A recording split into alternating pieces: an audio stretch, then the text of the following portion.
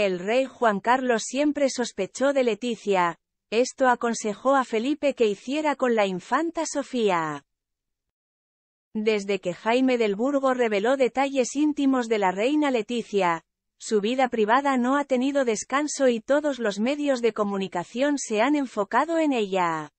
Incluso, muchos han pensado que el rey Juan Carlos tenía razón de no tenerle buen aprecio cuando la conoció por primera vez.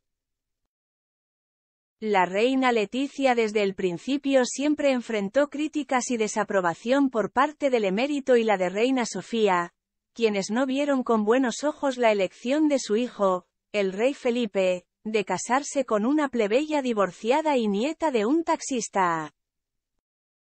En más de una ocasión, los padres de Felipe VI, expresaron su descontento con la elección de su hijo de una esposa que no cumplía con los estándares tradicionales de la realeza.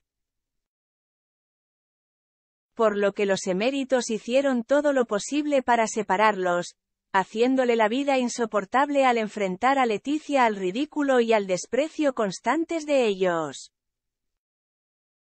Aunque el rey Juan Carlos y la reina Sofía hicieron lo imposible, Felipe estaba tan enamorada de Leticia que hasta amenazó con renunciar al trono si no respetaba su elección, por lo que los eméritos tuvieron que ceder y aún así nunca confiaron plenamente en la experiodista.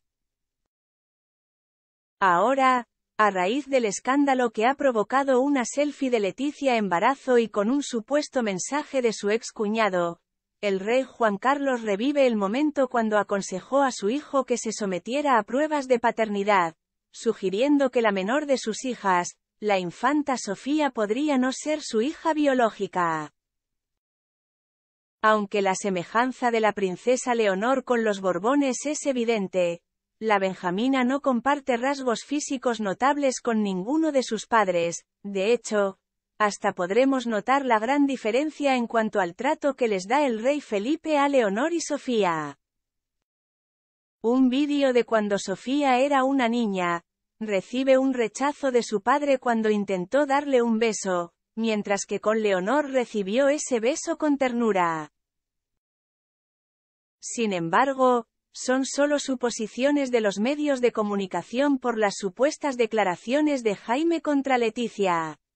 Pero que han revivido las sospechas del padre de Felipe sobre la integridad de la consorte, quien siempre cuestionó la honestidad de la experiodista.